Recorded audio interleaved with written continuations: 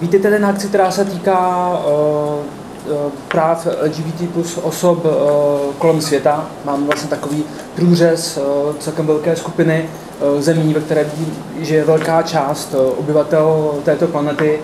Brazílii, Rusko, Indii, Číně a Jižní Africe. Je to zároveň vlastně neformální uskupení takových těch vynořících se mocností a přišlo nám, že i vlastně v České republice takto zaměření se týká, nebo vůbec povědomí o právech eh, LGBT osob se týká spíše tedy eh, zemí bohatých, případně občas se vynoří mediálně vděčné témata jako země jako Uganda a podobně. Takže eh, možná tam taková tichá většina lidí, kteří žijí na této planetě a sexuální menšiny těchto zemí se snažíme tímto nějakým způsobem také zviditelnit. Já bych možná jen z organizační bych musel předeslat to, že bohužel se ze závažných osobních důvodů nemohla zúčastnit eh, této prezentace Linda Flanderová, která eh, měla prezentovat eh, případ Číny, takže za to se velice omlouváme a aspoň jako takovou malou náhražku, tak potom na stolku vzadu tak naleznete vytištěný její článek krátký z mezinárodní politiky o tomto tématu, o emancipaci zejména gejů a lezeb v Šangaji a vůbec celkově v Číně a jakým způsobem se tolerance eh, v této velké zemi eh, zvyšuje, což je vlastně celkem, celkem pozitivní. Jinak budeme mít dále spíše i takové smíšené případy. Rád bych teď předal slovo řediteli z toho mezinárodních vztahů Petrovi Kratochýlovi, aby nám řekl něco více o projektu, ze kterého hmm. vlastně tahle prezentace dnešní vychází. Hmm, děkuji. Takže eh, dobrý den, vážené dámy, vážení pánové, jsem velmi rád, že se tady potkáváme. Není to poprvé, kdy Ústav mezinárodních vztahů je zapojen do Prague Prahy, to je třeba připomenout, už jsme eh, v minulosti se aktivně eh, účastnili eh, svými semináři a přednáškami v minulosti. V tomto případě je to naše zapojení ale specifické, protože se nejedná jenom o zapojení do Prague Prahy, ale že vycházíme ze studie, kterou jsme v loňském roce vypracovali na žádost Českého ministerstva zahraničí a která se zabývá právě situací LGBT plus osob v nezápadním světě, to znamená v těch zemích BRICS, v té době jsme tam ještě neměli zapojenou Indii, to je takový přídavek, který slyšíte vy tady, jak tady dokonce ani pan ministr, který si jistě se zájmem celou tu studii prostudoval, eh, tak tohle ještě neslyšel. Eh, je třeba říct, že my jsme v té studii se zaměřovali hlavně na ty praktické otázky, to znamená otázku, jak může nebo naopak nemůže Česká republika, potažmo Evropská unie přispět ke zlepšení situace v těchto zemích. Uh, ony ty výsledky, to asi uslyšíte za chvíli, uh, jsou takové ambivalentní, protože ono se často může ukázat a ukázalo v některých případech, že mnohé z těchto zemí jsou alespoň v některých aspektech pokročilejší než Česká republika. To znamená, že to není taková ta klasická asymetrická pozice, že my, kteří víme, jak to je, jak se má postupovat, teď budeme těm chudákům z třetího světa vysvětlovat, jak se mají chovat nebo co mají dělat. Ono to často může fungovat eh, právě, eh, právě opačně.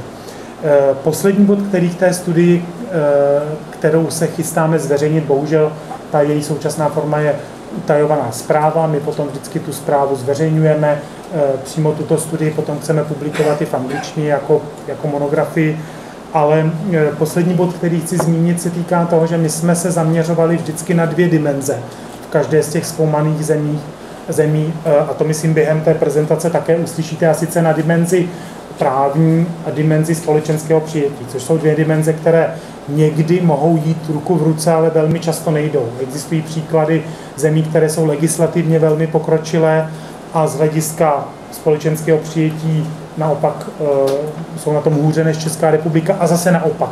Eh, tak jenom abyste viděli, že to byla ta základní osa, eh, kterou jsme, kterou jsme v té studii používali. Já samozřejmě budu rád, pokud si přečtete i naše další materiály, které jsme k této nebo příbuzným problematikám v posledních letech publikovali. Není toho, myslím, málo, takže nám buďte věrni. Eh, a tím tady předávám zase slovo zpátky Ondřejovi a jestli začneme v tom pořadí abecední. Tak, začneme v tom BRICS, v tom eh, pořadí abecední, bohužel tedy kromě BRICS není úplně abecední. a uh, ještě předtím na začátku, protože tady kolega neumí tak dobře české, by mohl v češtině prezentovat, chtěl jsem se zeptat, je tady někdo, kdo by skutečně potřeboval jakoby simultánní tlumočení do, do češtiny? Jakoby řekněme spíš tady. Ne. Správná odpověď je ne. Dobře, tak uh, necháme tady prezentaci, prezentaci v angličtině, když tak pokud potřebujete uh, souseda nebo potom později můžeme když tak nějakým způsobem uh, v, tom, tom pomoci, ale bohužel nějak jako profesionální simultánní překlad uh, jsme zajistit nemohli. Tedy the floor is yours and for the uh, presentation on Brazil. Uh, okay, so um, Promita Český. uh, Uh, so I'm José, and I'm presenting uh, about Brazil. Um, it's just eight, Okay, so it's eight minutes. It's going to be fast. And um, and uh, okay. Um, so we'll begin with the positive side, and we'll move on to the negative ones. Uh, and one of the most, if not the most positive side in Brazil is that Brazil hosts the biggest, if not one of the biggest, if not the biggest LGBTQ IQ prides in the world. Last São Paulo Pride on June 18th had 2 million people participating on it. So this is a bright side. People can uh, show their sexual uh, diversity, their gender diversity. But this year, uh, the uh, people started um, protesting against the growing conservative trend in the National Congress. And uh, I'll talk about this uh, later. In terms of rights, um, Brazil started a 1981 campaign and collected 16,000 signatures to wipe out homosexuality from um, the list of diseases this was accomplished in 1985, so seven years before the World Health Organization did it. Uh, the government instituted recently a national um, council to fight against discrimination and support LGBT rights, and a program called Brazil Without Homophobia was instituted in 2004. Um, for transgender people, social names are recognized, but if you haven't undergone a surgery, then um, then in your document you you will be there will be your given name and your social name. This has caused people a lot of trouble because when they want to offend you, they use your given name. Uh, sex reassignment surgery is uh, paid by the government. It's financially, uh, uh, publicly financed. Uh, okay, so this is. Um, but the surgery waiting time may take up to 13 years, so you'll be locked up. Um, there are a lot of complaints about medical abuse, and a common phrase is often heard um, from the medical staff and psychologists is that, oh, why you dress like that? A real man or a real woman doesn't dress like that.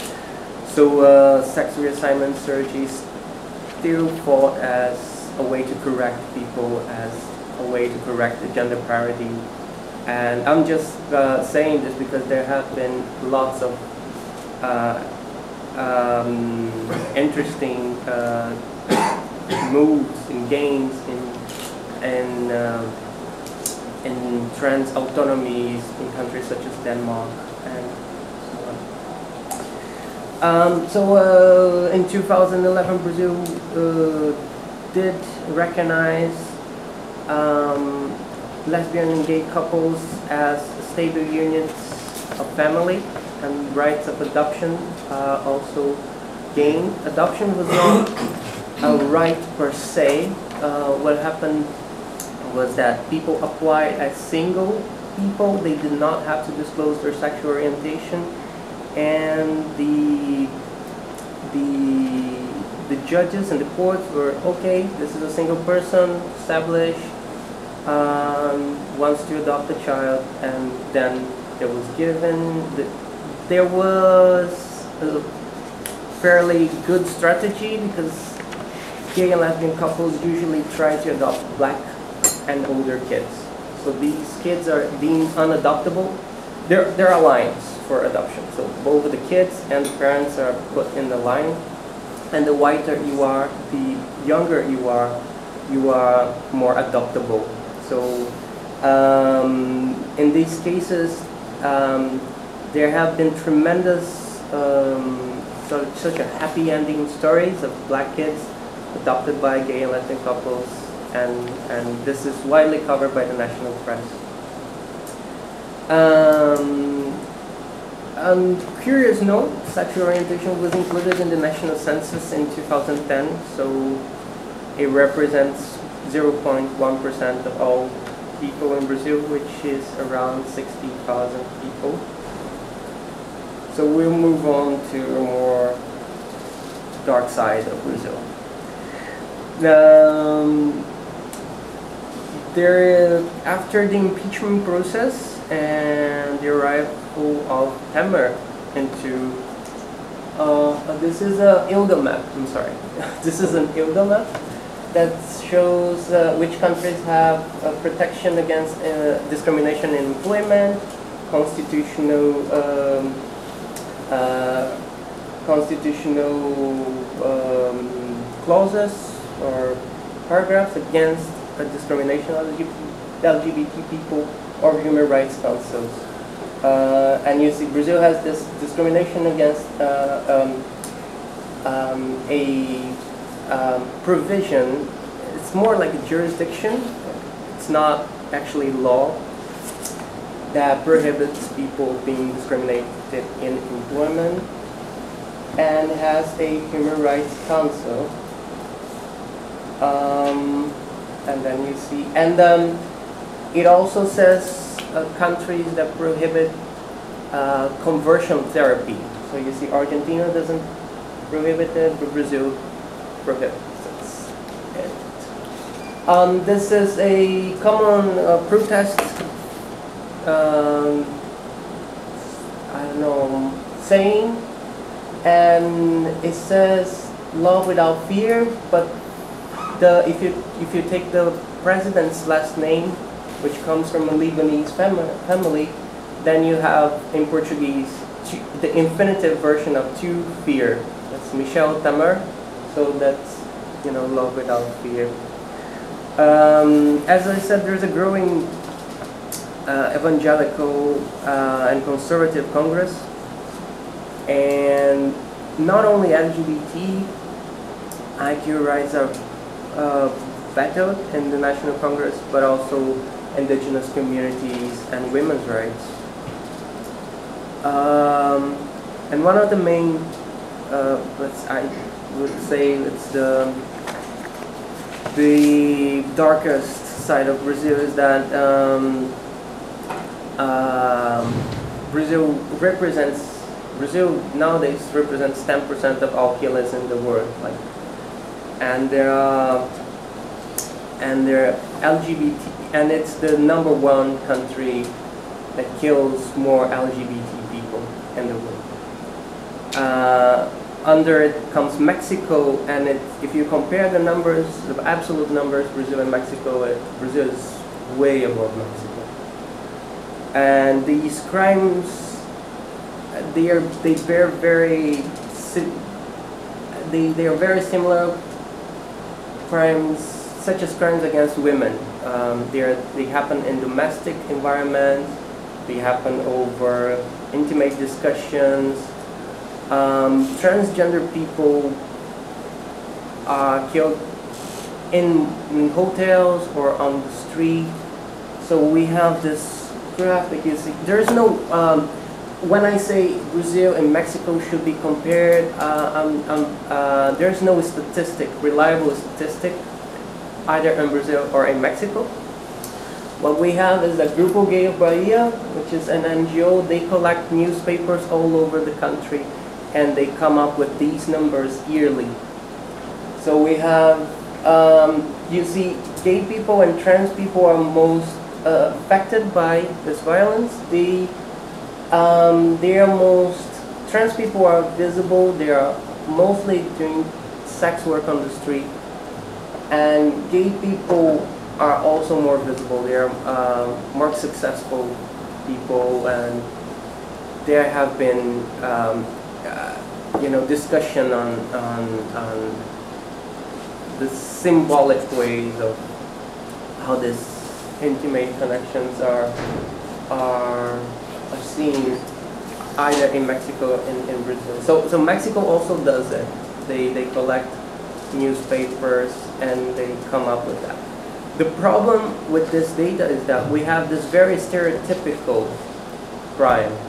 Uh, there's the, the crime that happens in motels and hotels and homes, so we don't know yet if it's, this is the real picture or not. But uh, it is a very dark uh, picture anyway. Uh, let's see. Well, this is it, I guess. I'm sorry to end up in such a such a bad tune. Uh, I well, I can pass it on to you. I don't know who comes next. And uh, well, if you have any other questions, I guess in the end. Dobrý, díky. Přesně tak, možná otázky, pokud máte nějakou úplně hned teďka, která by nám zodpovězena, tak bychom to nechali na konec, abychom se taky nám podařilo nějak ty případy uh, spojit a možná se taky dostat právě to, co jde dělat víc k té praktické, hmm. praktické části. BR, já předávám dál nyní slovo Petrovi Kratofílovi, který děkuji, děkuji. Uh, představí Děkuji. překlad Ruska. Já nejdřív požádal přeci jenom, jestli tady někdo z toho od nás konference, abyste mohli to přeci jenom vypnout, protože eh, daní za váš příjemný pocity je tady, že my tady vepředu úplně mrzneme, aspoň já. Takže teď na chvíli, aspoň kdybychom to dokázali vypnout. Jo, tak tam musí být někdo z našeho konferenčního servisu, prosím. Jo. Aha. Jo, paráda, úžasný. Tak, eh, tak já přijdu, eh, když jsme skončili teda to, tím, tím, eh, tou temnou grafikou, tak já bohužel budu pokračovat temnou zemí, protože, aspoň z tohoto pohledu, protože protože mezi těmi původními našimi čtyřmi případy Rusko bylo vlastně jedinou zemí, kde oba ty trendy, ten trend společenské akceptace i trend právní, jde ruku v ruce a to špatným směrem. Proto také začínám tady, tím, tady tou fotkou. To není fotka, kterou já bych nějak jako ve Photoshopu vytvořil, to je fotka, kterou jedno z těch antigej hnutí, kterých je v Rusku velmi aktivních celá řada a to je jeden z jejich stickers, které používají a různě to lepí na auta nebo prostě na dveře a takových podobných mají celou řadu, potom třeba jiné jsou zaměřeny na pravoslaví a jiné náboženské skupiny a podobně, ale to je jedna z těch, jak se sami chlubí na svých stránkách, jedna z těch jejich nejpopulárnějších, přímo si to můžete koupit v jejich e-shopu.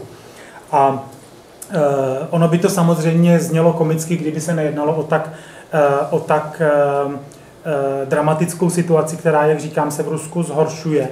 A zhoršuje se zejména v posledních 10-15 letech.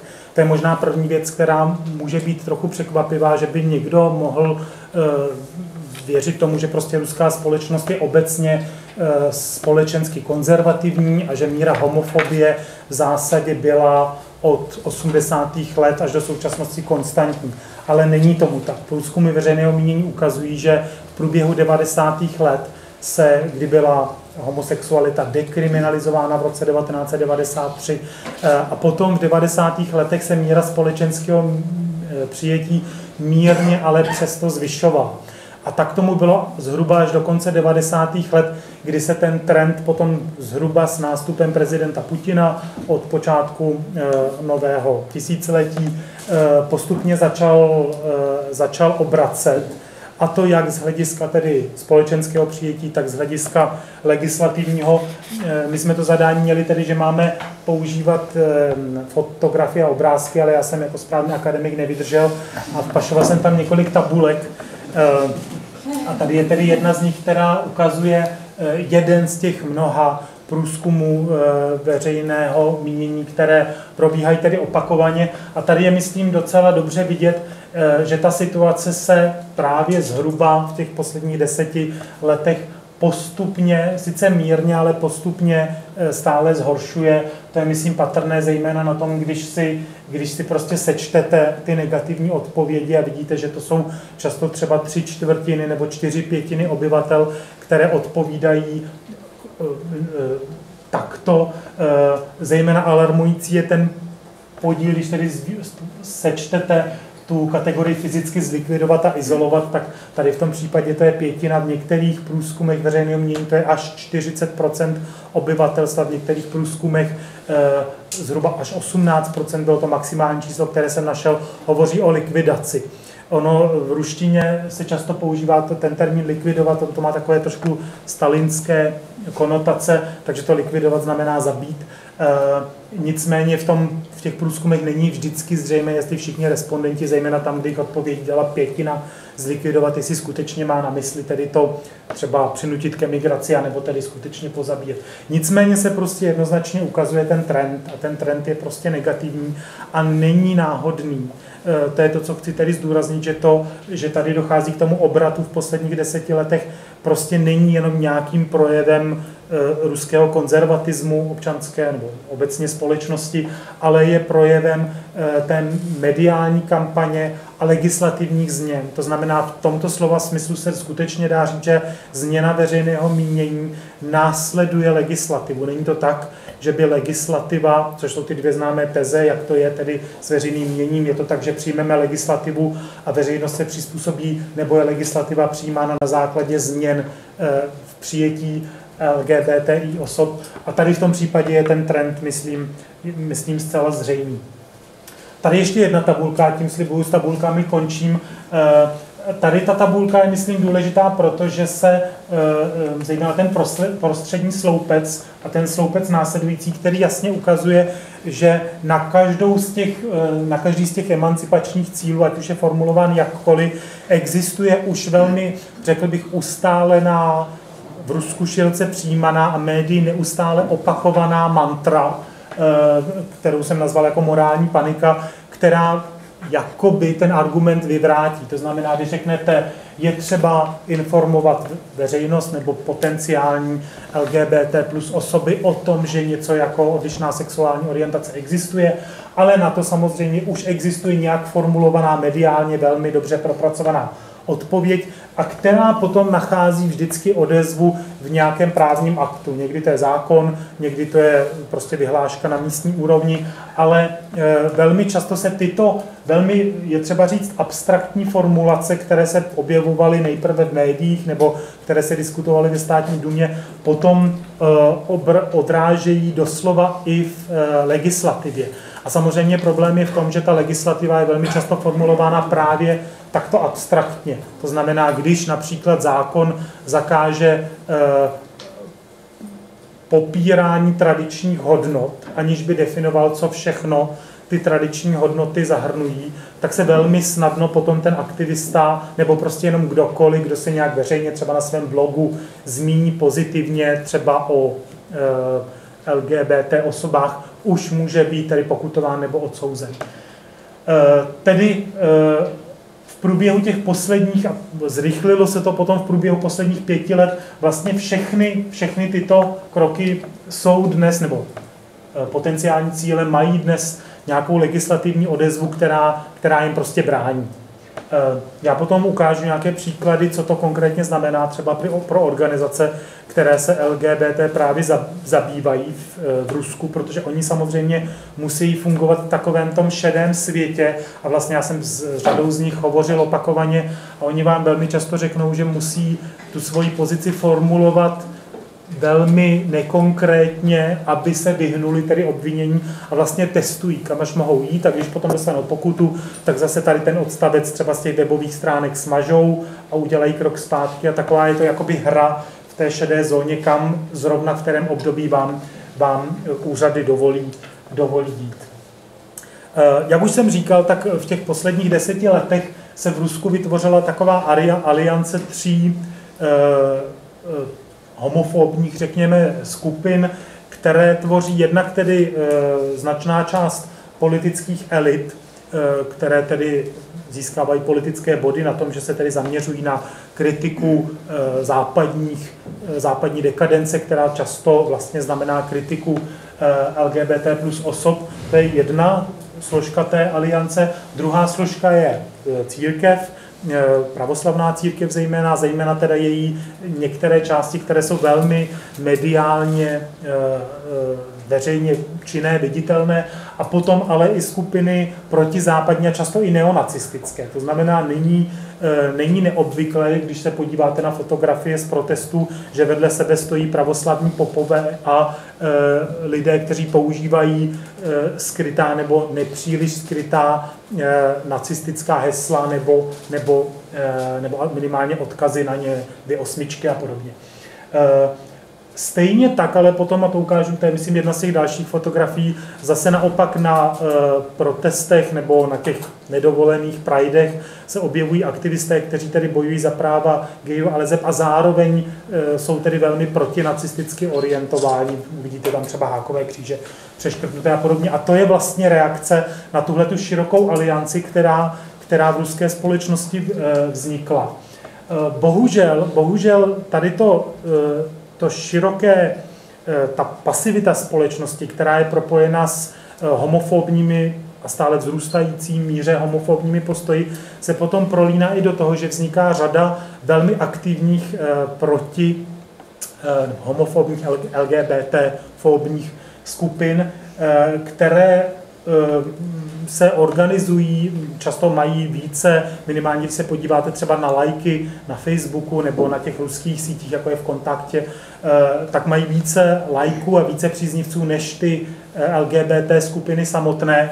Eh, a oni potom dělají různé buď protesty proti těm prideům nebo nějakým protestům za práva gayů, lezeb a tak dále. Eh, bohužel eh, velmi mediálně viditelné jsou právě i ty skupiny. Tady jsem, já jsem tedy vybral ty eh, nejméně drastické snímky, existují na YouTube celá videa, která Eh, která tam bohužel tedy dnes jsou řada z nich k dispozici, kdy eh, členové těch skupin vylákají pod falešnou záminkou na schůzku, zejména se, týká, se to týká velmi často bohužel teenagerů, to je příklad tady, eh, ten byl potom velmi medializován, kdy prostě vylákají někoho na tu schůzku a pak tam samozřejmě skupina tady těch, tady těch násilníků a oni tam nějak zesměšňují, případně i mučí, v některých případech bohužel do té míry, že to skončí tedy vážnými zraněními, anebo dokonce i smrtí. I takové příklady v Rusku v posledních letech každoročně se stávají. A e, pak samozřejmě ještě ta videa e, dávají veřejně na ty sociální sítě, takže jsou přístupné. A to všechno jsou samozřejmě věci, které jsou i v Rusku trestné. E, nicméně, a to je ten druhý problém, je, že úřady nebo orgány, které by měly být trest eh, činné a které tady jinak činné velmi výrazně jsou v případě, kde mají popírat tu takzvanou homosexuální propagandu, tak tady v, eh, té oblasti činné nejsou. Eh, tady třeba dobrý příklad, který který, který to dokládá, spíše špatný příklad než dobrý příklad, je případ tady, ta, tady té aktivistické skupiny, která se jmenuje rusky Occupy Pedophile, Eh, to znamená, eh, anglicky se říká Occupy Pedophiles, ale vlastně útočí proti gayům, což je velmi zase typické pro tu ruskou veřejnou debatu, že vlastně nerozlišuje mezi homosexualitou a pedofílí a kteří právě e, zveřejňují tato videa.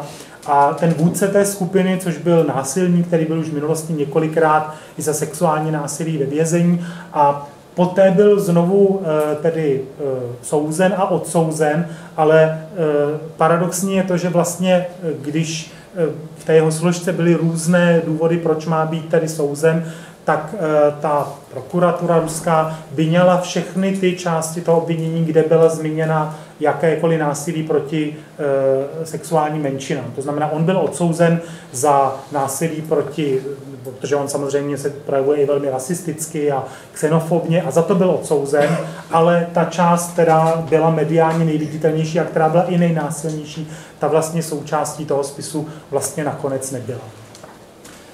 Um, Samozřejmě tou, eh, tím nejviditelnějším krokem, o kterém se potom nejvýrazněji diskutovalo, byl zákon, který byl přijat v roce 2013 a který zakazuje propagandu, jak ten zákon říká, netradičních sexuálních vztahů. zase zákon přesně nedefinuje, co tyto vztahy jsou, ale pod stejnou kategorii tedy opět zahrnuje homosexualitu, transsexualitu, ale právě i pedofílii. To znamená zase, je to taková velmi široká vágní kategorie a není úplně zřejmé, co tou propagandou je. Zda už propaganda je, když informujete na webových stránkách, zase uvedu příklady, eh, kdy tomu tak bylo. Potom samozřejmě eh, mezinárodní společenství proti tomu protestovalo Evropský eh, soud pro lidská práva, tam ten ten případ se dostal a ten se vyslovil ve prospěch eh, tedy tě, té LGBT komunity, ale Rusko vlastně odmítlo se tomu eh, rozsudku podřídit. Eh, tady to jsou potom jenom nějaké další obrázky, které dokládají to, co už jsem tady říkal, že velmi často ta problematika LGBT plus je spojována tedy obecně s protesty proti neonacistickým skupinám a podobně. Eh, tady potom jsem se snažil trochu tady to odlehčit, protože samozřejmě celá ta problematika Ruska je taková depresivní. Eh, eh, v Rusku skutečně se v některých, on to má vždycky nahoru a dolů, jsou to takové vlny, ale jsou tam fáze, kdy prostě zejména někteří konkrétní poslanci nebo dokonce i členové prezidentské administrativy přicházejí s novými nápady, co by se všechno mělo cenzurovat, co tedy odporuje tomuto zákonu. Takovým příkladem je, jsou třeba Teletubbies, eh, které byly eh, zakázány na státních televizních kanálech, protože Tinky Winky eh, nosí kabelku a usoudili tedy, že pravděpodobně je to buď transexuální osoba nebo, nebo homosexuální a že tedy se nemůže vysílat. Nejnovější případ je, je Kráska zvíře, to poslední americké zpracování, kde, jak víte, je jedna ta takřka otevřeně uh, gay postava. Uh, takový můj v uvozovkách oblíbený případ je, je příběh, který já jsem, já jsem občas dívám eh, se zájmem na ruské pohádky. Jedna taková moc hezká pohádka, to je to vpravo nahoře, je pohádka o chlapci, je to takový ježiček, ale je to chlapeček, někde v jeslích a on se zamiluje do svého polštářku. A jmenuje se to Duša Padušky, jako duše polštářku a v ruštině samozřejmě paduška je tady ženského rodu, ale ten polštářek v ruštině má muž, mužské jméno. Takže ten chlapeček se zamiluje do polštářku, pořád na něm spí, a, který má mužské jméno a to potom bylo také scenzurováno, protože to je také vlastně e, údajně tedy propaganda, propaganda netradičních, netradičních sexuálních vztahů. Na závěr chci ještě zmínit, že tedy e, navzdory všem těm zákazům existuje poměrně aktivní v řadě měst, nejenom v Moskvě a v Petrohradě, eh, skupina různých organizací, eh, eh, které se zabývají LGBT plus právy. Ty nejznámější jsou ruská LGBT síť, gayrussia.ru a potom skupina Děti 404, což je, eh, tam myslím, to je takový možná nejsmutnější případ, protože to je skupina, která tedy, nebo organizace, která se snaží pomáhat LGBT dětem a tedy teenagerům eh, v otázkách souvisejících s coming outem, s jejich orientací, ale když se podíváte na ty stránky, ty jsou k dispozici a přečtete si ten úvodní text celý, tak tam ani jednou tahle otázka vlastně není zmíněna, protože tam je jenom ta duha, ale jinak tam není nic a teprve, když budete klikat dál, tak se doklikáte otázkám, kde vlastně LGBT poprvé zazní.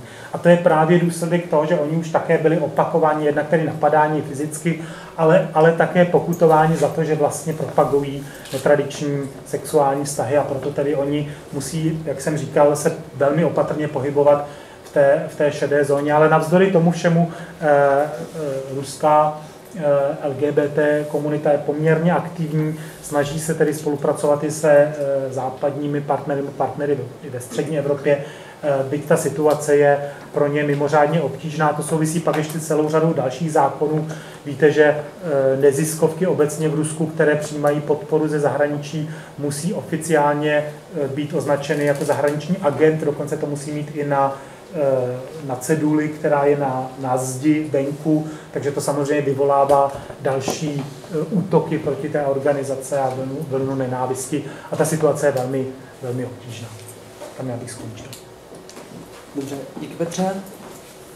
Tak pokud nejsou nějaké přímo konkrétní otázky k této prezentaci, tak bychom se, prosím, ano. Možná jenom rychlá otázka, jestli máte nějaké novinky v Čečensku, což je vlastně myslím, součást Hmm. Ruska.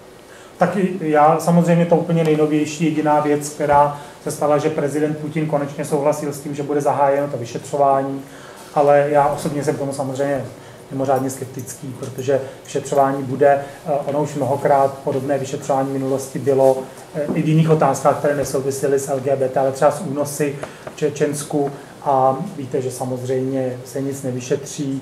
Eh, V nejhorším nebo v nejlepším možném případě eh, se eh, dostanou pokutu nějací nízko postavení lidé, kteří konkrétně třeba vlastně unášeli ty údajné geje do toho tábora, ale, ale to vyšetřování, tak jak bylo teď formulované, já jsem zrovna, teď jsem si četl tu formulaci, že teprve te, teď zjistit, jestli vůbec se ty údaj, tady údajná obvinění zakládají na pravdě. Je třeba říct, že s tím obviněním přišla nová, nová gazeta, což je tradičně vůči eh, Kadyrovovi, vůči Putinovi kritické médium, takže eh, ta vláda si myslím ani čečenská, ani eh, centrální nemá velký zájem nějak podpořit ty, ty, to jejich vyšetřování. Za otázku. Pokud máte další dotaz, tak bych potom předal slovo Honzovi Hornátovi a dostaneme se o jižněji, když tak vezmu, eh, do Indie. Tak dobré odpoledne, dámy a pánové. Já budu snad trochu optimističtější eh, než eh, tady kolega. Pokud se v Ruské federaci v posledních 10-15 letech ta situace zhoršuje, tak v Indii je to spíše opak. Eh, Sice je to trochu legislativně eh, nahoru a dolů, eh, ale eh, ta situace se eh, v Indii obecně eh, zlepšuje. Mm, A já popíšu jak a proč. Eh, na Indii samozřejmě, Indie je různorodá země a nejde úplně paušalizovat, jak se vlastně indická společnost chová vůči- eh, komunitě LGBT. Eh, V Indii existují eh, konzervativnější regiony, respektive státy a není tam jenom ten, ten rozdíl to, toho města, to, toho města, toho řekněme, progresivnější obyvatelstva a toho venkova, ale máme i zde státy, prostě, které jsou obecně konzervativnější a další státy, které jsou progresivnější. Takže ta paušalizace zde úplně eh, nelze dělat eh, v takto různorodé země. Nicméně, eh, co je zajímavé na Indii eh, z hlediska vlastně eh, práv homosexuálů a LGBT komunity, tak vlastně, když se podíváme do té dávné indické historie, eh, tak to jsou indické eposy, eh, povídky eh, a tak dále, které zmiňují homosexualitu. Eh, Podíváme se i do ně- nějakých indických chrámů, eh, kde homosexuální styk je vyobrazen.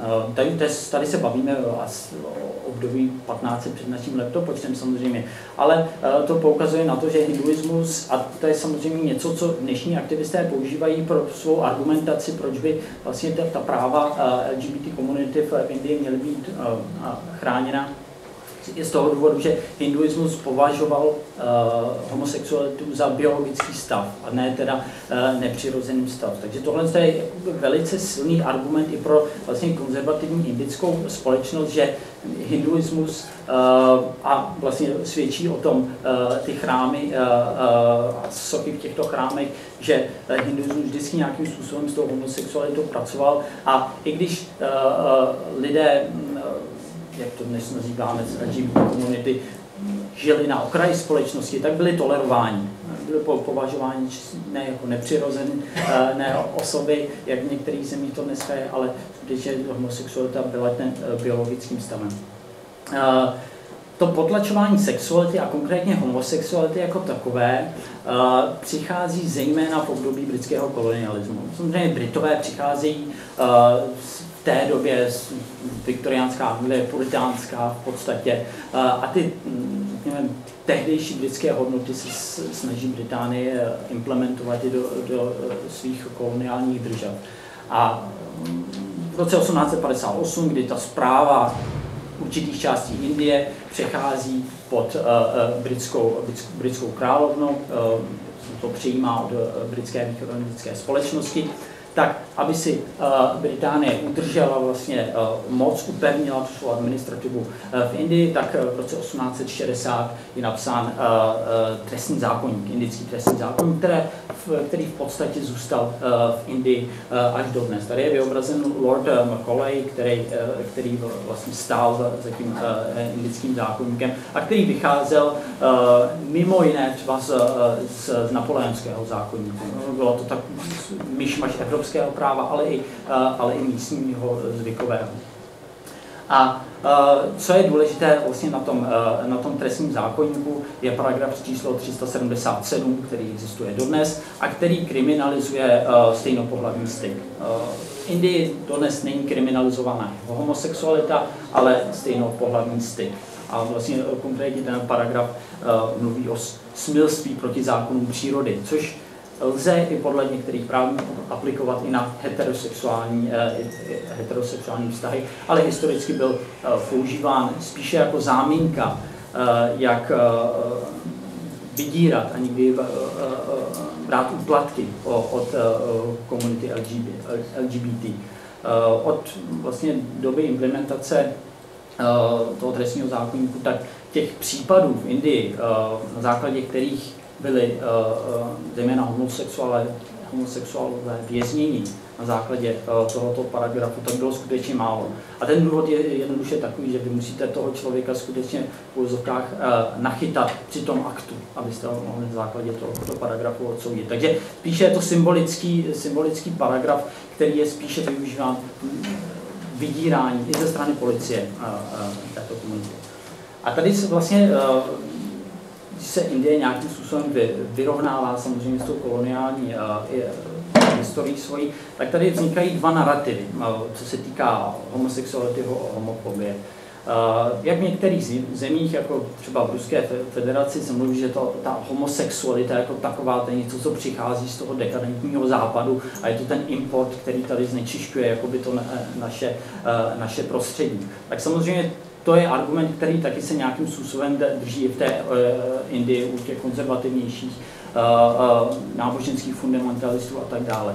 Ale na druhé straně je tady další narrativ, který používají s, indičtí aktivisté, kteří říkají, uh, ne, je to homofobie, kterou, kterou uh, nám importovali sem, uh, který byl importován ze západu právě těmi Brity v tom, eh, na konci toho 19. století. Indická společnost, hinduistická společnost byla tolerantní eh, vůči eh, těmto menšinám, ale byly to až ty Britové, kteří sem přitáhli tu homofobii a vlastně na kterou i nějakým způsobem reagovaly tehdejší indické elity, protože chtěli těm Britům ukázat, že oni si jsou sami schopni vládnout a Britové to bude, tak to jsou ty vlastní orientálci, my musíme trochu jakoby, uh, uklidnit tomhle, tě, tě, těmito zákony, tak tě, i to byly vlastně, a takovou rétoriku najdete i u Gandhiho, no to potlačování té sexuality a, a, a tak dále, tak to je, to je ten důvod vlastně, protože se chtěli určitým způsobem ukázat, že oni jsou schopni vládnout.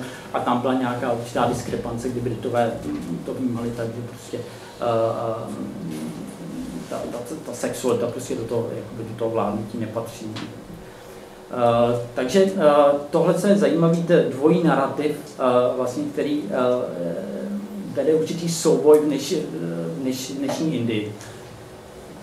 Uh, teď se přesunu spíš už do současnosti a um, přelomová 90. léta, uh, kde nejen prostě s objevem uh, viru HIV a onemocnění AIDS se nějakým způsobem za, zač, začíná do toho veřejného diskurzu dostávat i otázka homosexuality, ale kdy i e, do té e, vlastně tu otázku do toho veřejného diskurzu přináší Bollywood. Bollywoodský film konkrétně tento, e, který otevřeně mluví o lesbické lásce, je to natočeno v roce 96 v Indii, to senzoři pustili v roce 98 a uh, ten film uh, vyvolal na jednu stranu plná kina a na druhou stranu i vandalismus ze strany ze náboženských fundamentalistů, kteří viděli toto prostě není něco, co patří do indické kultury, je to něco, co rozbije prostě tradiční indickou, indickou rodinu, když my se o tom otevřeně budeme, otevřeně budeme bavit.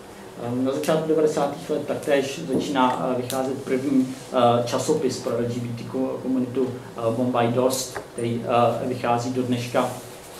A takže ta 90. léta jsou z, hlediska té populární kultury v tomto ohledu revoluční v tom, že se nastartovala debata o tom, jak se zbavit paragrafu 377 v indickém trestním zákonníku, protože samozřejmě ten, ten byl platný i v těch 90. letech, tak jsou to právě v 90.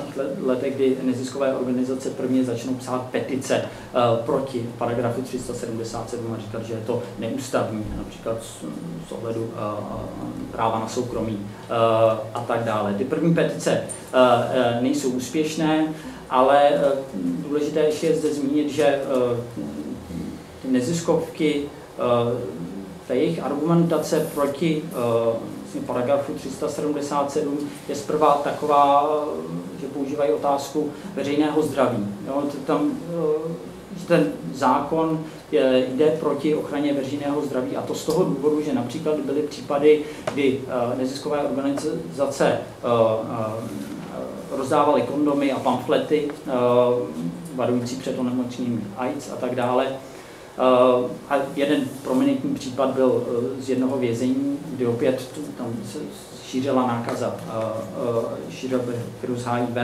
a jedno, jedno doporučení vlastně z řad odborné veřejnosti bylo čistě dávat těm vězňům kondomy. A autority vlastně v těch vězních řekly, ne, to my bychom napomáhali vlastně zločinu na základě toho paragrafu 377, tak to zamítli a to vlastně ty neziskové organizace řekly, tohle je prostě otázka veřejného zdraví a tím my bychom mohli by zautočit na paragraf 377 a zbavit se ho. Ale ty první petice nebyly, nebyly, eh, nebyly uh, úspěšné. Úspěch přišel až uh, v roce v roce 2009, zase po různých incidentech, které byly eh, medializovány, kdy byly eh, LGBT komunita, znamená eh, homosexuálové různě diskriminování a tak dále. Protesty byly první Pride, Pride pochody ve větších indických městech. A v roce 2009 nadace NAS, která se právě soustředí na spíše na otázku HIV pozitivních pacientů, Eh, tak uspěla u, u, u, uh, vrchního soudu v Novém dílí, který vlastně vydal rozsudek, že paragraf 377 je neústavní. Um, mnoho hledisek, ale mimo jiné teda hlediska práva na soukromí. Takže v roce 2009 byl stejnopohlavní uh, styk uh, Indii dekriminalizován. Eh, toto vytvořilo podle aktivistů takové jakoby eh, eh, krátké, krásné mezivládí, kdy skutečně homosexualita a stejnopohlavní styk nebyly nějakým žádným způsobem z toho právního hlediska kriminalizování. Nicméně i tento rozsudek vlastně nezbavil LGBT komunitu toho stigmatu patřit eh, k té komunitě. Eh, jeden příklad, který můžeme mluvit za všechny, v roce 2010, teda eh, rok potom rozsudku vrchního soudu v Dílí, byl medializován případ doktora Sirase, který, který přednášel na Muslimské univerzitě v Aligáru a přednášel literaturu a v jeho domě, do jeho domu jednoho večera vtrhli dva muži s kamerou, vlastně nachytali ho eh, v vozovkách eh, při aktu s dalším mužem. Eh, toto následně video zveřejnili. Univerzita doktora Sirase vlastně suspendovala, zároveň musel opustit i vlastně apartmán, který si pronajímal od univerzity. Nicméně, protože se to, toto stalo v roce 2010, doktor Siras uspěl u tamního vrchního soudu v Allahabadu, eh, který řekl, že diskriminace na základě toho, že doktor Sidas je eh, eh, homosexuál, není ústavní a vlastně nařídil univerzitě, aby ho přijala zpět a aby mu vrátila ten univerzitní byt. Nicméně asi necelý týden po tomto rozsudku byl doktor Siras nalezen ve svém novém pronajatém bytě mrtví a za záhadných, za záhadných okolností údajně měl i jed, jed v krvi a tak dále. Tento případ nicméně nebyl, ne, nebyl vyjasněn. Co je důležité ale u této příhody je, že opět se vlastně do této otázky vkládá ta populární kultura, konkrétně Bollywood, který natočil podle, doktor, podle životního příběhu doktora Sirase film Aligar, který, eh, když to porovnáme s tou veřejnou eh, recepcí, s, tou, s tím přijetím veřejnosti eh, filmu Fire v roce 1998 a tady filmu z roku 2015, tak byla diametrálně jiná. Vlastně už, už vlastně ty fundamentalistické skupiny nevandalizovaly kina, neutočili na lidi, kteří šli na ten film, ale obecně i byl vlastně kriticky velmi, velmi dobře přijat jak, jak médii, tak i relativně společ, společností. Uh, nicméně problém je v tom, že v Indii jsou konzervativní kruhy, jsou tam uh, fundamentalistické hinduistické strany, které tvrdě tlačily uh, na rozsudek vrchního soudu v Dílí. A bohužel v roce 2013 petice ze strany, můžeme to nazvat,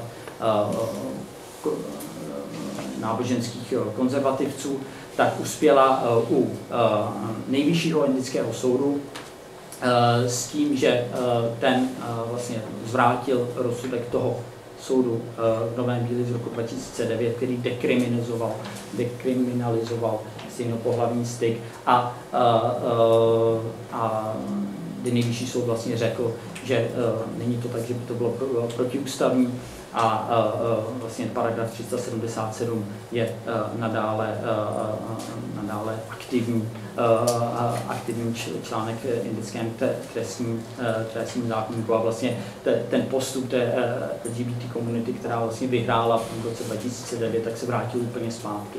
Ale jenom z té legislat, jenom z, z hlediska, hlediska toho práva, samozřejmě z hlediska veřejného diskurzu to velmi pomohlo a, a, a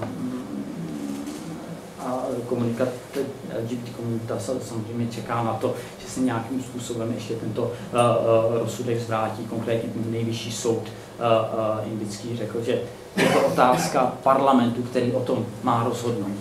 A, a, v, ale doposud bohužel se, se v parlamentu žádné vlastně otázky reinterpretace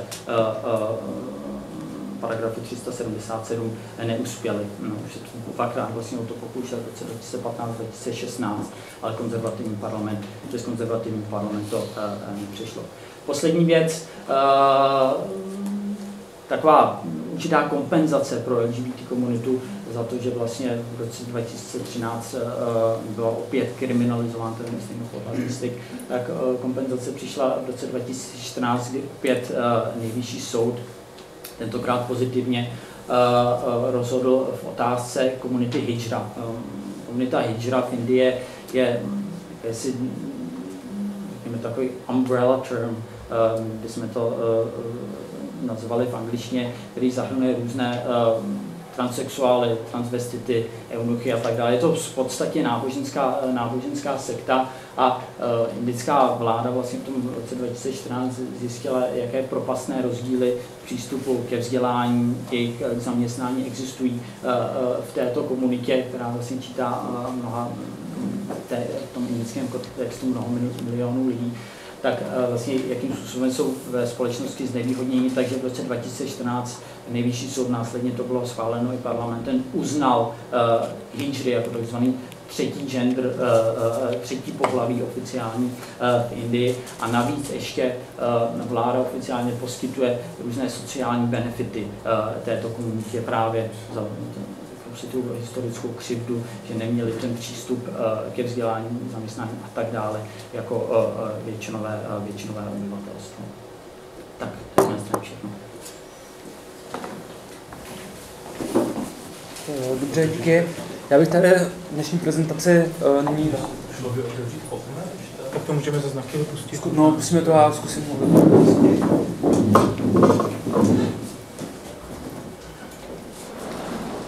Dobře, já bych tady uh, možná začal uh, ten případ uh, Jižní Afriky, která je vlastně z těch pěti zemí nejmenší, má vlastně 50 milionů obyvatel, ale možná právě díky své vlastně té diverzitě v některých věcech je hodně podobná Brazílii, ale svým způsobem má také určité svá specifika, která si myslím, že dělají hodně zajímavá.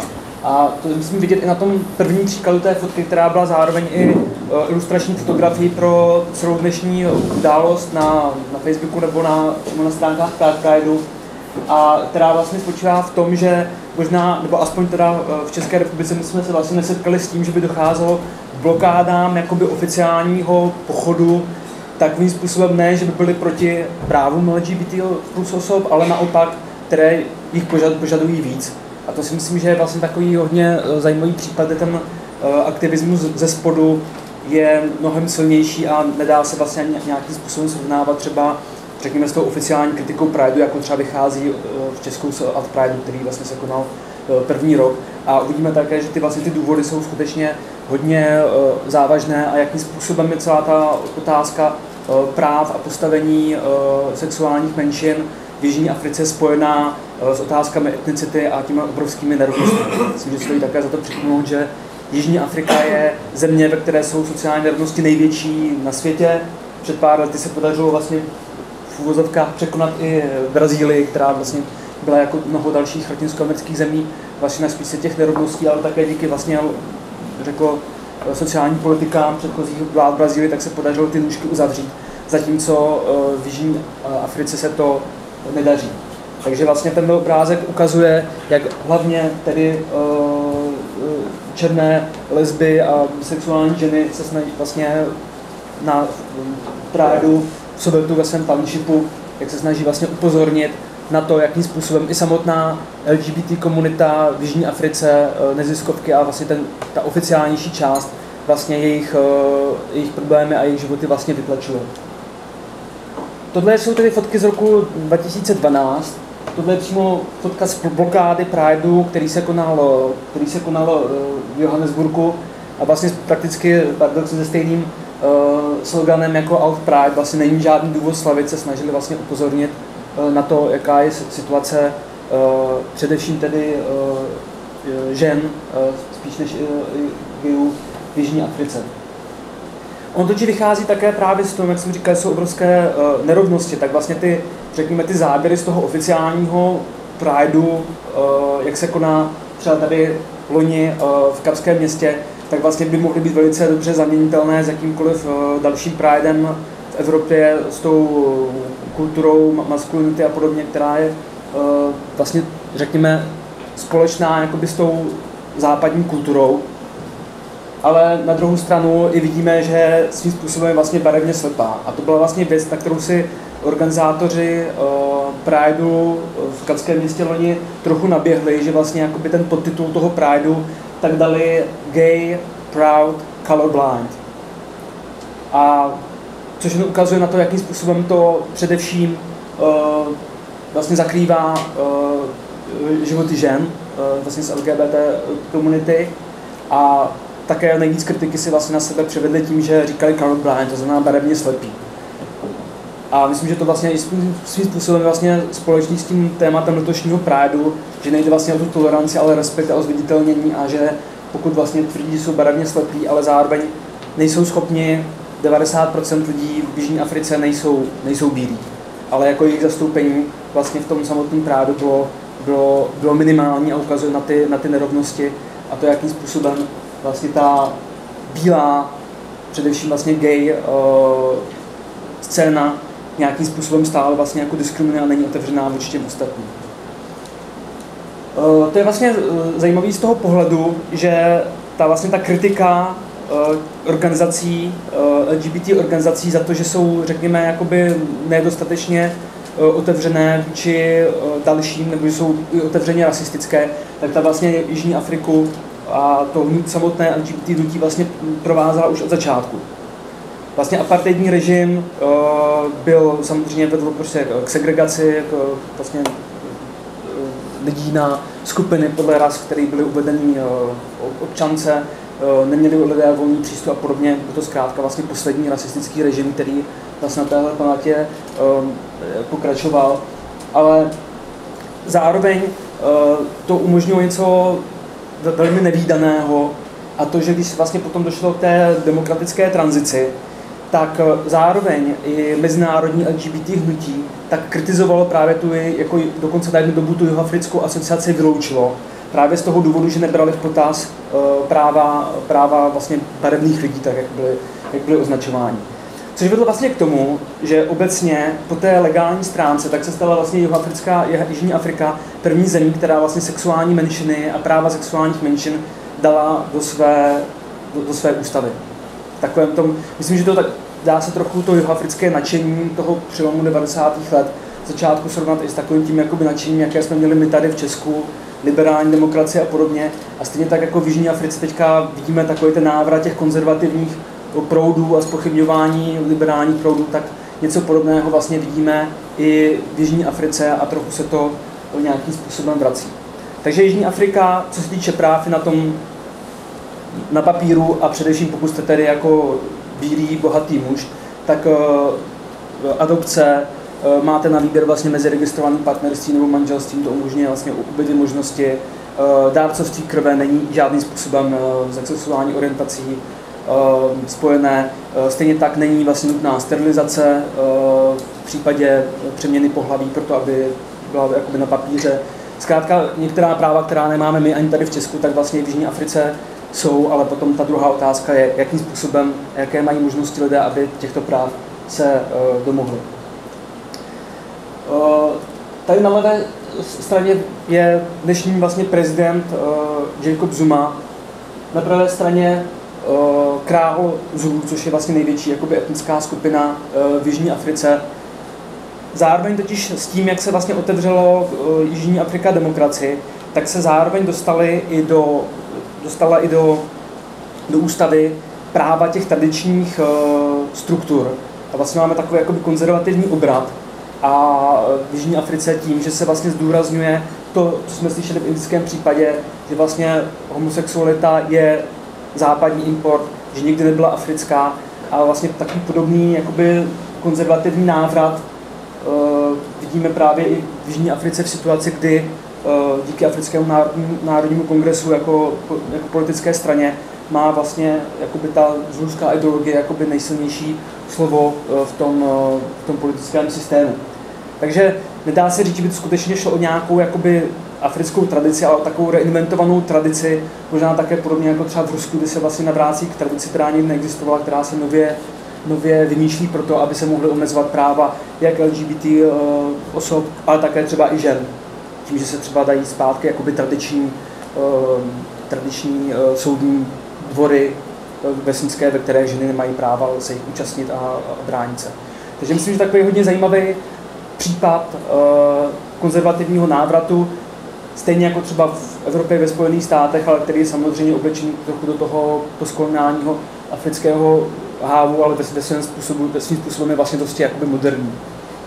Přitom paradoxní je, že obrovskou vlastně jakoby, uh, kritiku vytvořilo to, že nějací historici prostě vyhrabali, nejsou to nějaké úplně průkazné, průkazné důkazy, ale vlastně, že King Shaka, který vlastně vedl na začátku 19. století k tomu jako vytvoření toho zulského království, tak podle nějakých uh, zpráv uh, silně fakt se fixoval na matku, uh, doporučoval svým bojovníkům pro to, aby byl lepší boj, aby spolu měli sex a podobně což samozřejmě jako není vůbec dneska důležité, jestli to byla pravda nebo to nebyla pravda, ale důležité to je, jakým způsobem se ty oficiální jako struktury uh, i vlastně přímo v té vládnoucí straně jakoby brání této interpretaci a uh, také jakým způsobem vlastně se to, tomu ukazuje, že tam takový velký strach jakoby o ztrátu té maskulinity uh, krále Šaky, který jakoby vedl ten uh, zuluský národ, Eh, to se dobře ukázalo, vlastně před turbanským letištěm udělali sochu právě tohle jako krále, který vytvořil Zulské království do té, do té velikosti eh, v 19. století a vlastně reprezentovali ho tam bez těch tradičních uh, znaků, bez uh, oštěpu, bez, uh, bez štítu. A měl to obrovskou kritiku, oni tu, tu, tu sochu nakonec prostě uh, odklidili protože zkrátka to bylo vnímání jako ohrožení nějaké prostě maskulinity a podobně. Z toho okolností není to zase náhoda, že jako politici eh, tady máme dva muže, jeden volený, jeden nevolený, ale samozřejmě také pouze po úzké, po úzké linii. Nicméně, eh, samozřejmě obrovská část, tím, že nemáme třeba psanou historii, vlastně velká část i toho v té studii prostě vychází přímo jenom z, vlastně jako z orální tradice, že nejsou zaznamenány tím spíše právě ty příběhy těch odlišných sexualit v Jižní Africe, ale myslím, že to je takový zajímavý způsob, jak se vlastně ta západní historie a Západ tedy vlastně přinesl doly, investice do dolů, k tomu, že se prostě hodně mužů jako dělníků nebo mm, horníků začalo koncentrovat na některých místech, tak se vlastně třeba už je dokumentovaný někdy třeba v 30. letech, že se vlastně vytváří takové jakoby eh, domácnosti většinou staršího a mladšího horníka, které vlastně svým způsobem kopírovaly jakési takové jakoby manželství na zkoušku, tedy heterosexuální manželství na, škoušku, na zkoušku ze skotské kultury a vlastně tak jakoby na určitou dobu vytvářeli takové nějaké jakoby mm, svazky mužů eh, na těch eh, hornických ubytovnách. Podobná vlastně těch příkladů je mnohem víc, takových specifických vlastně kombinací té původní uh, zuluské, exoské kultury s těmi sexuálními identitami, jak se to nějakým způsobem vlastně míchalo v tom potkávání západu s původními etnicitami. Obrovská vlastně taková jakoby podobně jako třeba bych řekl v, LGBT historiografii v Evropě, jsou také vztahy žen, jenom prostě málo jako dokumentů, jakým způsobem se vytvářely vztahy na, na dívčích internátech, které zase byly, ten školský systém samozřejmě nějakým výmyslem, výmyslem západu. A pak také bylo plno dalších prostě forem v té kultuře, která se i po druhé světové válce vytvářela v těch uh, townshipech, uh, že největší přes milion lidí žije v Johannesburském sovětu. Uh, možná to známe třeba právě z těch uh, fotek uh, odboje ze 70 ne z druhé poloviny, ale zároveň vlastně samozřejmě tam měl takový i ty townshipy měly prostě svůj underground, ale velmi často se vlastně vytvářely i ty uh, jakoby non-konformní sexuální vztahy zase hodně genderovaně. To znamená jakoby aktivní uh, starší uh, muž, uh, který měl vlastně svůj jako v Zulu nebo v Isizu nebo v uh, těch místních jazycích nějaké označení a na druhou stranu mladší muž, zase většinou často muži eh, s tím, že eh, ženy často bývaly v takové jakoby jednak kvůli té obecné diskriminaci nebyly tak ty identity artikulované, ale na druhou stranu často vlastně zase využívali té jakoby tradiční medicíny toho, že některé ženy, které bychom dneska označili jako lesby, tak vlastně byly takové jakoby šamanky, hodně jako přehání, jako tom výrazivu, ale vlastně dokázali se jakoby chránit tím, že vlastně svoji jako netradiční sexuální identitu dokázali vnížit. Zase v rámci těch tradičních rolí, které ta jihoafrická společnost i v, v tom, tím, řekněme, jihem apartheidu umožňovala v, v, v townshipech. Dnešní situace ovšem jako je taková, že i přesto, že už máme víc než 25, 23 let od, od definitivního pádu apartheidu, tak ty nerovnosti se zvýšily místo toho, aby se zmenšovaly.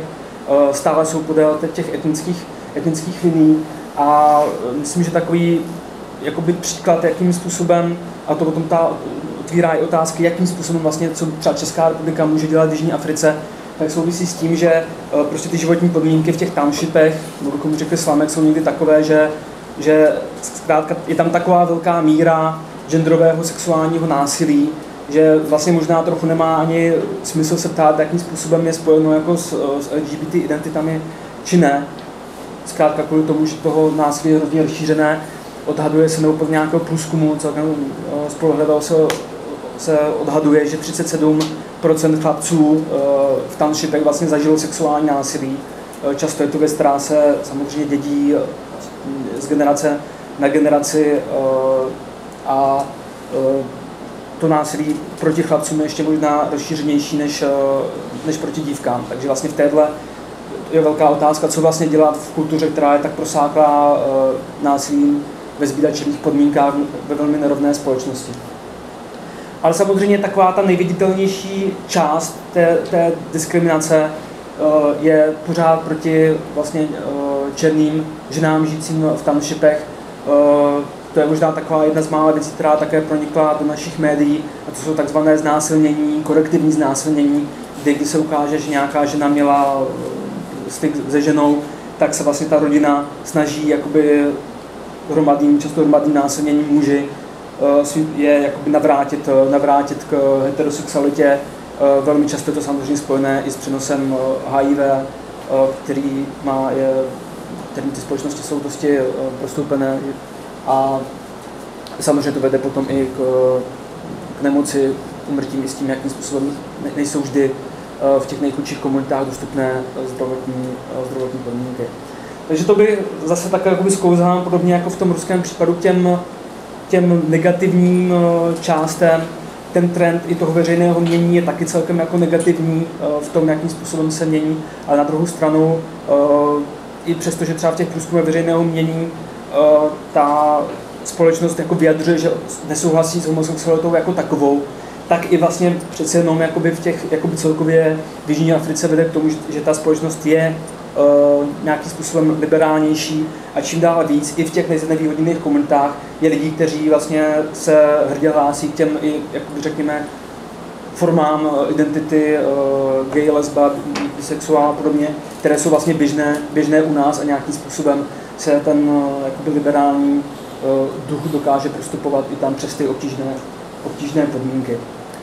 A zároveň tím to chtěl taky uzavřít a především to, co se vlastně děje, tak je především i té práci ze spodu, především té práci ze spodu, přímo těch aktivistů, aktivistek, kteří žijou vlastně ve strašně znevýhodněných podmínkách, ale zároveň přesto dokážou i třeba někdy jako mm, podobně třeba jako blokádou pochodu upozornit na to, že obrovská část vlastně té společnosti přes ta obrovská formální práva, o kterých ani se nám nezní tady, tak se snaží, aby byla uh, naplněna i pro ty nejchudší a nejznevýhodnější. Tak, to by bylo k, eh, k Jižní Africe. Nakonec jsme to celkem, když jsme byli čtyři, tak jsme to nakonec, měli jsme doporučeno, nebo jsme, jsme, si, doporu, sami jsme si doporučili 8 minutové příspěvky, tak jsme to trochu přetáhli. Tak doufám, že jsme vás nějak eh, extra ne, nevyčerpali a samozřejmě Eh, všichni čtyři tady otevření eh, vašim dotazům, komentářům. Když se zajímalo jenom v Jižní Africe ještě, eh, jestli nějak reflektovali na tom projevy jakoby tuhle tu kritiku, nebo jestli to tam je tu kritiku jakoby z toho, že jsou, že to je jakoby jenom pro gay, jenom pro bílí, že jestli tam probíhá potom nějaká jako v rámci té komunity nějaká jakoby diskuze, nebo jestli to třeba pro lety, jestli to bylo loni, tahle se jakoby gay colorblind, tak jestli v letošním projevě se, se nějak, je to reflektované. Jo, na ten, no, na ten letošní jsem se nedíval, ale říkám, to byl rok 2012, jo. pak 2016, oni to potom jako stáhli, ten podtitul, to tam měli někde jako na stránkách. A myslím, že ten, ta situace se nezměnila tak, aby, aby se to změnilo. Tam je, ono taky stejně jako vlastně v Praze, tak je to hodně spojený s tím průmyslem. Kapské město se jako prezentuje, že jo, jakoby gay-friendly město, takže jim se to vlastně tak jakoby nevyhovuje, aby se to, aby se to politizovalo jakoby v tom roce 2012, když zablokovali ten Pride eh, v Johannesburgu, tak uh, s, ty, s těma sound systémama, tak je tam prostě chtěli jako násilím prostě jako přejet.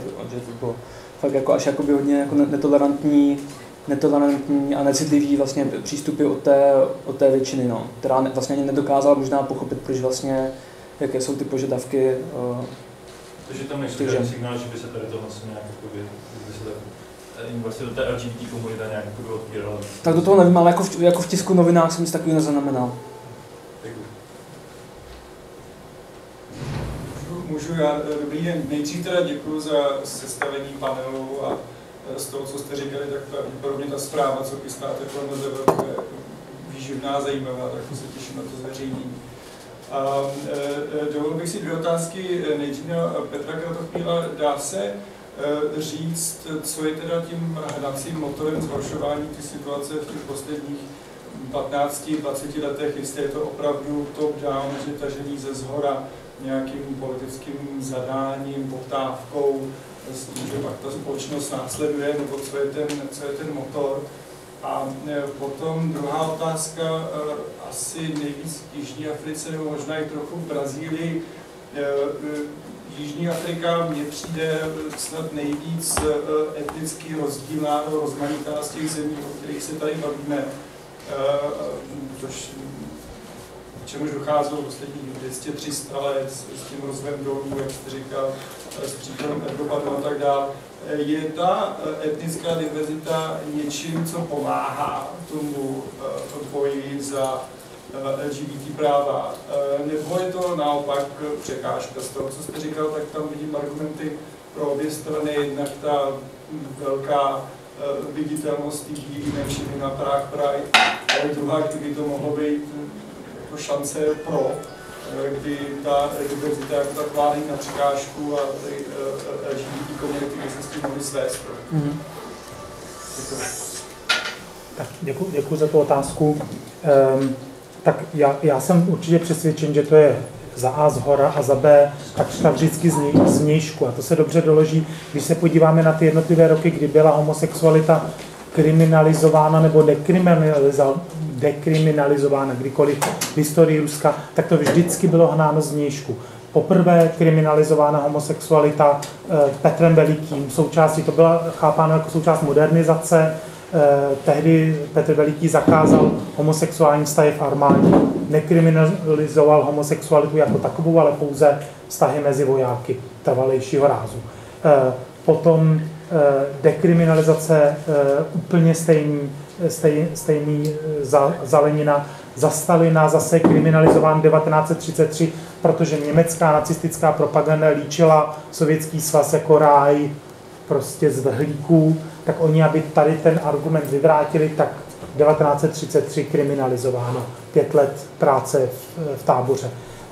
1993 eh, ta dekriminalizace zase Eh, Rusko se k tomu nějak nemělo, proto to bylo až 93, ale pod tlakem Rady Evropy, která tím podmínila členství eh, Ruska v organizaci, byl ten paragraf změněn.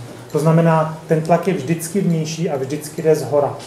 Ono by se možná dalo říct, že možná byste toho, to už trochu přeháním, ale asi by se dalo zobecnit, že obecně ten reformní tlak v Rusku mývá tradičně tento charakter ale ten paradox spočívá v tom, a to tady zaznělo v těch jiných případech, že ten tlak západní vlastně neznamená vždycky tlak liberalizační. Prostě stejně jako v té viktoriánské Indii, tak někdy to je tak, někdy onak, ale v zásadě ta společnost je tradiční nějakým způsobem, ale tradiční před, před Petrem homosexualitu jako takovou vlastně neznala, ale vlastně ani nepostihovala.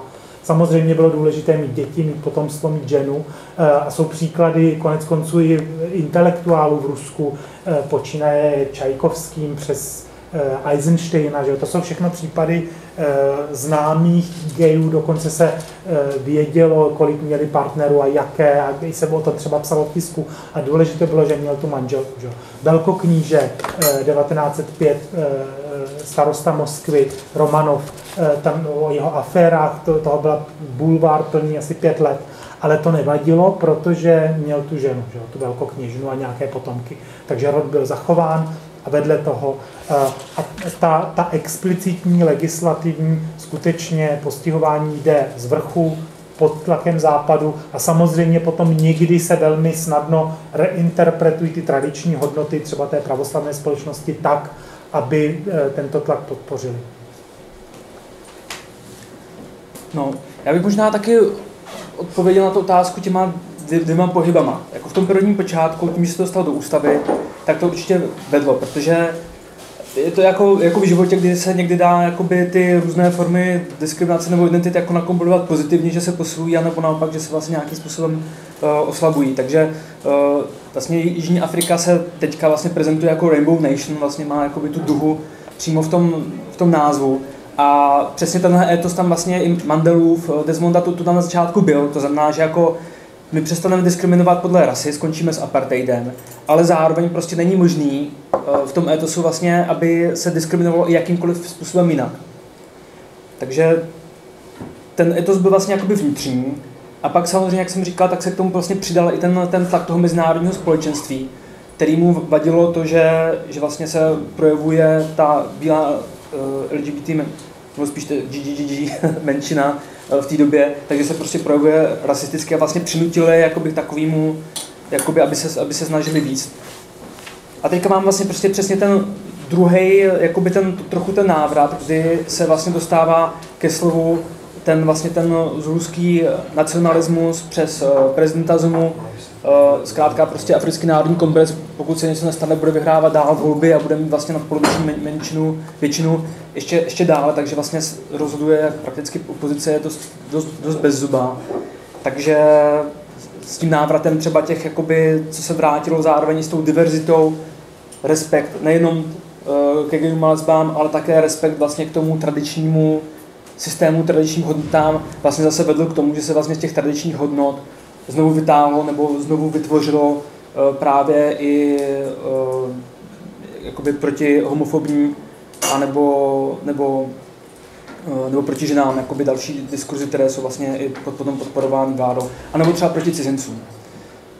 Takže tam takové prostě návrat, že paradoxně jako ten, ta liberalizace umožnila velkou škálu, škálu práv, ale tím velkým množstvím, kterou má vlastně jako ta relativně konzervativní, konzervativní prostě apaterní vláda na, na Africký národní kongres vede k tomu, že jsou některé ty věci se mnou prací zpátky. Eh, Tomáš Dílí, já mám taky Ondro ještě na tebe doplňující otázku. Jestli chápu teda správně, že vlastně v té Jižní Africe jde o to, že eh, ta vládnoucí moc na jednu stranu nechce brát ta práva té bílé menšině, která už je vlastně jako by si dokáže vynutit a dělá prajdy a, a ačkoliv vlastně je to menšina, tak ale eh, ta práva v ústavě jsou a prostě ta menšina se nějakým způsobem je schopná nárokovat, ale zároveň tím, že je to konzervativní moc, tak vlastně Eh, není ochotná ta práva prosazovat právě i pro tu většinu, která vlastně je černá, stejně tak jako ta vládnoucí, eh, vládnoucí jakoby, skupina, ale vlastně eh, ačkoliv je to ta většina, tak vlastně jí ta práva nejsou jakoby přiznávána. Jo, že já tam vidím jakoby ten rozdíl, že, že jakoby část té společnosti, která je menšinová, jakoby ještě ta bílá menšinová bohatá, že, tak ale vlastně ta práva jakoby má a, a, a čím to je teda, že, že vlastně ta práva nejsou univerzálně přiznaná, ale vlastně jakoby je to takový nějaký jako šedý, šedý území mě přijde hodně. Mm-hmm.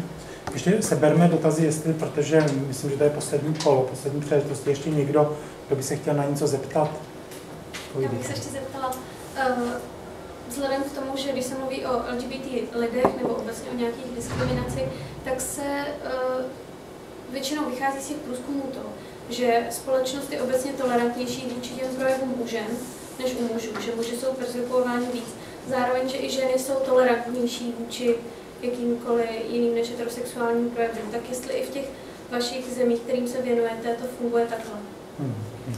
Tak ještě, ještě nějaký dotaz? Já možná ještě dotaz ohledně té situace v Rusku. Eh, jestli byste k tomu mohl dát nějaký komentář k kontextu jako jestli to není trošku scapegoating, že si ukazují teda na vlastně tu nějakou zranitelnou populaci v kontextu té nějaké postsovětské frustrace.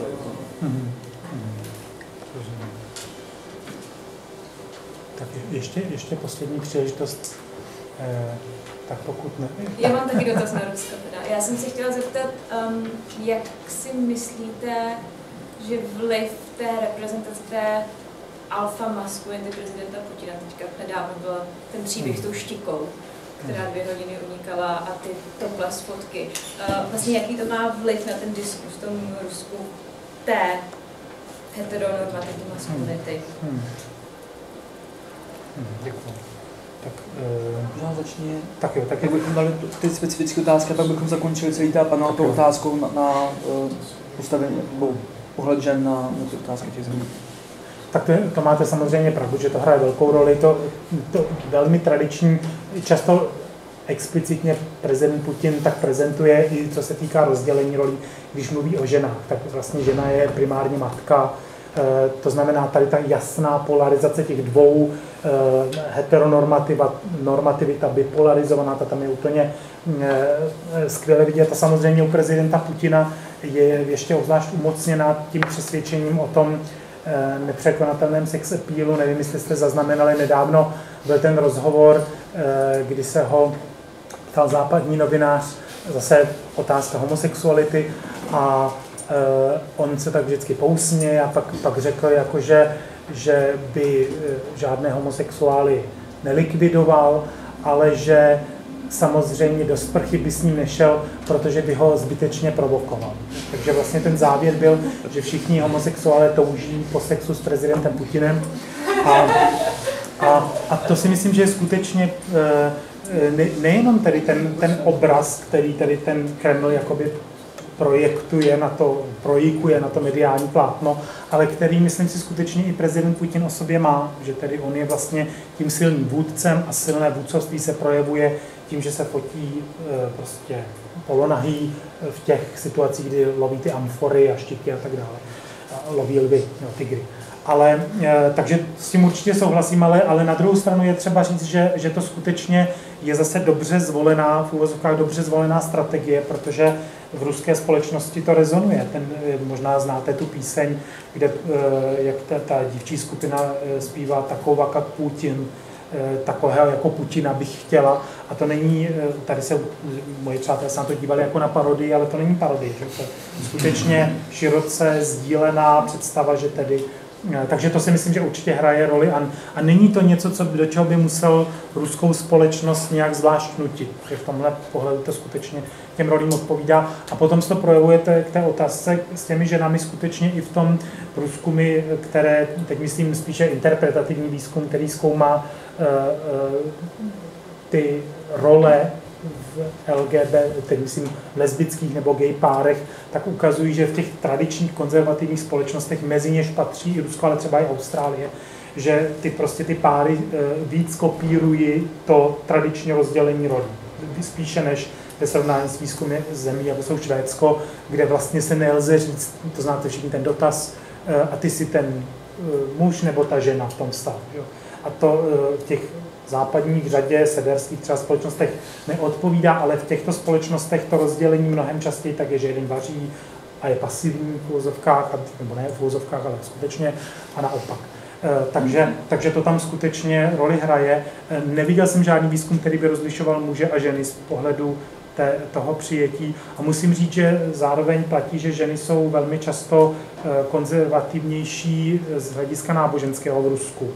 Takže by to bylo možná zajímavé, jestli by to pravidlo obecné, které jste zmínil, platilo, ale platilo, ale ne, ne, ne, ty. Dobře, ještě ta, té otázce, teda, která se týká uh, toho, jak ta, jestli ta vláda jakoby kašle na ty práva u té většiny, kterou jakoby nejvíc zastupuje. Já si nemyslím, že, to, že by specificky kašlala vlastně na, na, tato, na to specificky na tato práva, ale problém je, že vlastně ty, ty elity, hlavní černé elity, které se vlastně Africkým národním kongresem dostaly do té vládnoucí třídy jakoby tak trochu jako kašlou eh, i prostě kvůli korupci a tím, že mají vlastně jako neomezenou moc, to je jako já vždycky dávám příklad, představte si, že kdyby eh, ČSSD nebo ODS měla zajištěno, nebo občanské fórum mělo zajištěno víc než 50% hlasů, eh, když víme, jaká vlastně v těchto velkých stranách byla korupce, jak by to vypadalo za po 20 letech. Myslím, že taková podobná situace v Jižní Africe, takže tam je hlavní problém té politické odpovědnosti na jedné straně a na druhé straně tam ten hlavní problém, že se vlastně vůbec Africkému národní, národním kongresu nepodařilo zmírnit ty nerovnosti a dát vlastně těm nejchudším ty nástroje, aby se ty práva mohly uh, jako získat. Soudnictví funguje v Jižní Africe velmi dobře, ta dovolatnost práva je tam dobrá, ale pokud uh, část lidí, kteří žijí další gen, jako současné generace, kteří žijí v townshipech, tak neumí číst a psát, tak samozřejmě to hraje roli, aby se o těch vlastních právech naučili, aby se uh, mohli zasáhnout nějaká třeba antidiskriminační kampaň a podobně. Takže dokud se skutečně jako nezlepší ty sociální podmínky vzdělání, tak eh, těžko dojde k té reálnému zlepšení uh, LGBT práv. Ještě dáme slovo kolegům, tam byly ty obecnější otázky no. nebo cokoliv z těch komentářů, které tady ještě, jo, ty, ty studie, vy, vy jste zmiňovala, zmiňovala samozřejmě na Indii, je to taky aplikovatelné. A uh, si myslím, že není náhoda, že Bollywood vlastně začal s filmem Fire, který uh, otevřeně mluvil o té lesbické lásce, ne, o, o lásce gayů. Zároveň i ten paragraf 377, jak jsem zmiňoval, tak i když vlastně se je aplikovatelný i na heterosexuální stavy, i na lesbické vztahy, tak je používán autoritami spíše na geje, nikoliv na lesby. A zároveň další věc ještě, vlastně když i když snětek mezi homosexuálem stejný pohlaví není v Indii, je v Indii zakázaný, tak i přesto vlastně skrz některé hinduistické obřady je možné, že se dvě ženy mají svazek, který je vlastně pak administrativně i uznáván. Ale zase, tady musíme brát potaz, že Indie různorodá země, jsou i jiné zákony v jednotlivých státech, jiné, jiné tradice a takže v určitých vlastně státech indických je možné toto skrz vlastně hinduistický obřad se stát vlastně lesbický svazek. Hmm. Would you like to comment on anything that you've heard? If you've understood, then you understand. no, here and there, and this is something. Uh, um, I don't know. If there any direct question. No, no, there was just a question. Do you have anything about? Uh, do you know anything about the, the role of women? There, the, the last question. Oh, perhaps. okay. Uh, if women are more tolerant. Yes. Um, well, there is a flourishing uh, feminist movement in Brazil, and it's expressed expressed in online everywhere, and um, he has been pushing for LGBT uh, rights and, and but I don't know. It's very hard to generalize. If we go to polls and opinion polls, and we, we pe when people are asked directly what they think about gay people, it's uh, the answers are very nasty. The answers are very very nasty. So um, uh, it's uh, it's very hard to generalize. Maybe maybe and um, there is a I don't know. Maybe in South Africa happens the same, but there's some kind of color line in Brazilian, especially in Brazilian feminists. So uh, black feminists would tend to talk about exploitation and, and, and domestic work and abuse and poverty.